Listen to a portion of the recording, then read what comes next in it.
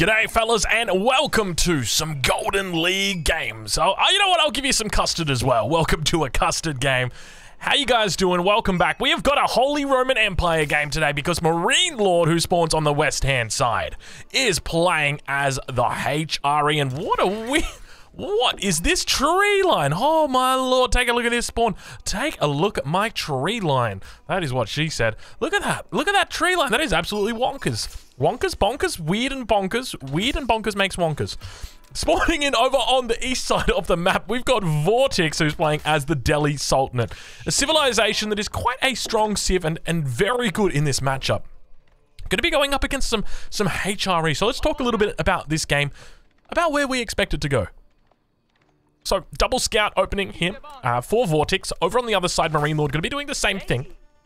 So, typically in this matchup, you would expect the Holy Roman Empire player to look to try and get to castle as quickly as possible, and we have already got some problems. Things not looking go. I know there's a lot of Giga Chads right now that are watching this on YouTube that are like, hold on a minute, we're, we're cheering for the Holy Roman Empire. We're not cheering for cheering for the Delhi player. Marine Lord seems to have fallen asleep at the keyboard there.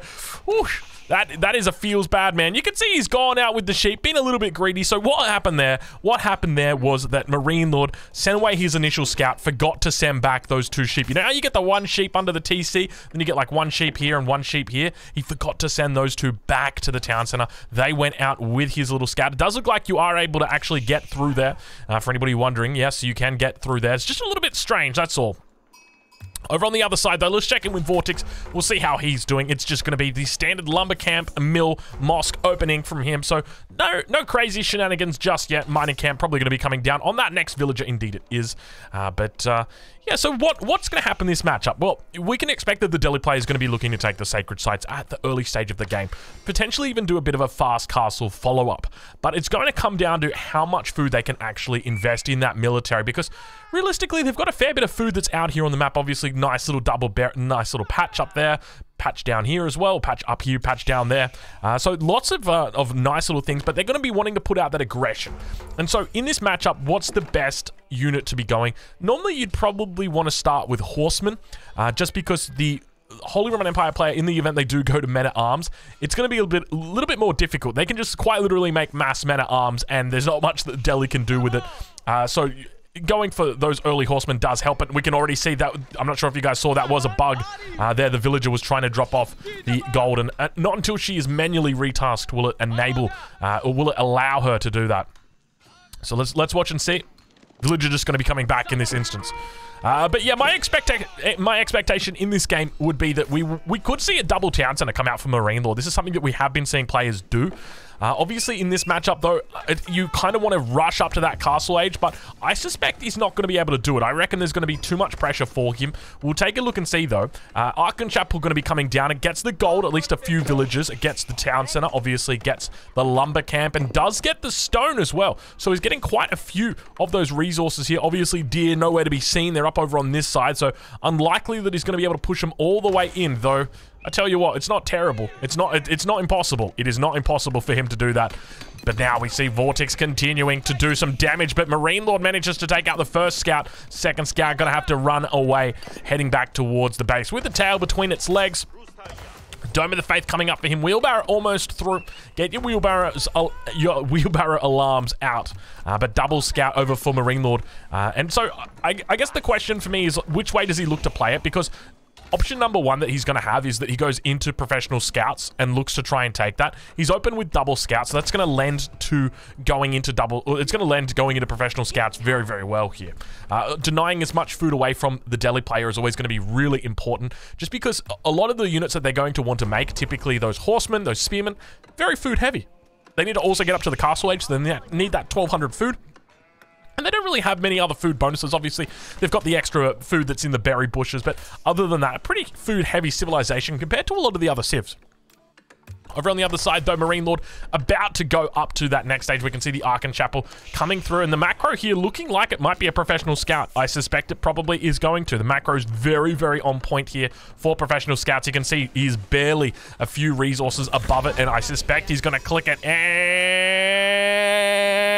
second. Nope. He's, he's not doing professional scouts. Okay. that was a bit of a letdown. I'm like, oh, okay then. I guess he's not. You can actually hear the two the two players chatting to each other in the game. I've got no idea what they're saying. Uh, but oh, there it is. There's the professional scouts. I knew it was coming. I knew it was coming. Oh my lord. gold miners now under attack once again. It is always going to be those gold miners, those pesky damn gold miners out a little bit too far away from that town center. Dome of the Faith is now through for Vortex. Going to be a double blacksmith opening. He'll be working towards that stable afterwards, most likely. Then get that barracks down. But uh, it, it, he can always mix things up. Against Delhi, it, it's something that you've got to be very careful with because obviously the Holy Roman Empire, they've got a lot of potential uh, when it comes to their castle age play. But the Delhi, by the same token, if they really start to mass up those, those units, it can be difficult dealing with them. We'll check in over on Marine Lord and see what he's up to. It just looks like it's going to be a standard fast castle play coming out for him. No, no other weird or wacky shenanigans at this point. Stable going to be coming down. Actually going to be investing in a couple more scouts here. Obviously going forward, professional scouts. It makes sense for him to do that.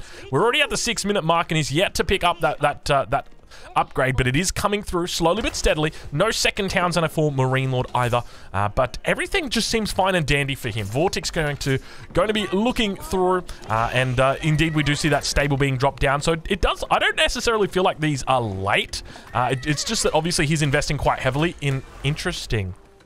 A little bit of a mistake coming through from Vortex. All four of his technologies in the same blacksmith. Ideally, he wants to split them two and two. You can see how much that one's already got off at a minute 51. There we go. I think he's just realized now, and now he's going to be able to put that in queue. So it's been about a minute that it's been sitting there idle.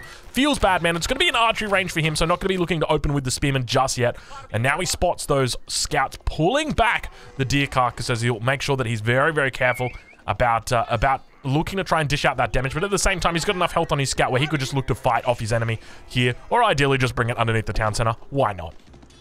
But Marine Lord now on his way up to Castle Age, and beautiful timing that he's got here. Look at this. We're at 7 minutes 15, and he's about to click up. He is, he's probably about 15 seconds away from clicking up. That is some really impressive stuff. And you can see Vortex coming in here, trying to be a little bit annoying. But isn't this just absolutely impressive when you think about it? When you think about the fact that this Holy Roman Empire player is quite literally just going a professional scouts fast castle and he's clicking up at about 735 look at that 735 click up that is an absolute insane timing on that. And of course it's going to be the Regnitz Cathedral. No real surprises there.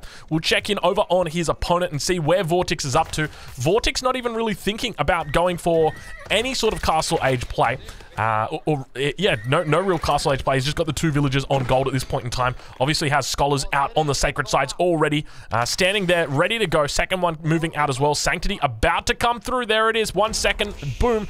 Shakalaka laka. There it goes. And now continuing to push through over towards that hunt. Keep in mind, all the resources are underneath that town center. And I mean, obviously on this map, this map being French Pass, it's the new, it's the updated French Pass. Players have looked to be a little bit defensive here. We can see that Vortex has actually got walls up, but he doesn't know. He doesn't know. He thinks this wood line goes all the way through. And now scouts are going to be catching down underneath the base of Marine Lord. The scouts do catch him unaware. And now the timing push uh, will, unfortunately for, for Vortex, is, is going to be pretty pretty meaningless. Uh, just simply because he hasn't hacked, he hasn't managed to wall this in. And this is the consequence of just, I guess, in, I, I, would probably say like unpredictable map spawns would be this because I, I, pointed out at the very beginning this was a very weird tree spawn.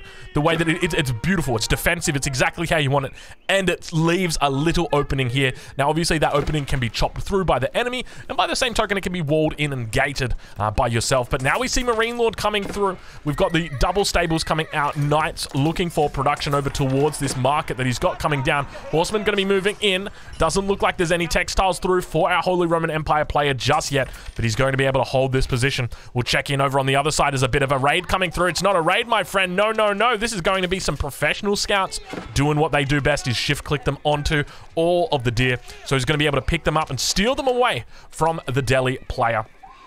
You can see him right there. All four of them going to be cleaned up. And now Horseman in the middle going to be fighting up against its brother, its brethren. Sacred Site was neutralized. And of course, the Knights are now out. And this is where it starts to get really hard for Vortex. Because Vortex had to make a decision. Did he go for a heavy feudal play? You know, maybe even only one blacksmith? No. He went for two blacksmiths. It means he's a little bit slower to get the units out. A little bit slower to get moving. And up towards the north side, you can see that's where he's rallying troops. But this is the consequence of this map. Because this map, obviously, French Pass, it's a little bit more of a roundabout way a fight against your enemy.